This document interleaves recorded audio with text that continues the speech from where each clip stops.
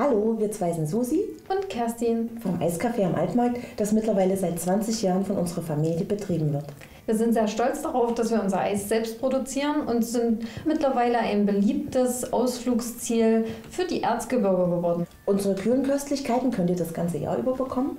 Und jetzt, entsprechend der kalten Jahreszeit, haben wir das Angebot ein Stück weit ausgeweitet. Es gibt frische Waffeln, heiße Schokolade, Glühwein mit und ohne Schuss oder einen leckeren selbstgemachten Eierpunsch mit ordentlich Umdrehung. Und wir haben auch noch einen kleinen Tipp für euch mitgebracht, was ihr zu Hause einfach auch machen könnt. Das ist unser Wichtelpott.